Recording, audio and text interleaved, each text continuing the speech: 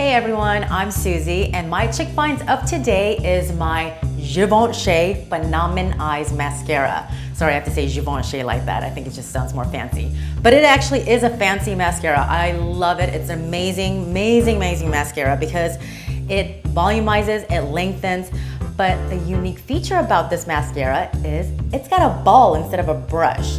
This ball brush will literally grab each individual eyelash and volumize and lengthen and give you those voluptuous eyelashes that we all desire. And I know I have Asian eyes, so I don't really have a lot like long eyelashes, and this literally definitely lengthens and makes it much more full.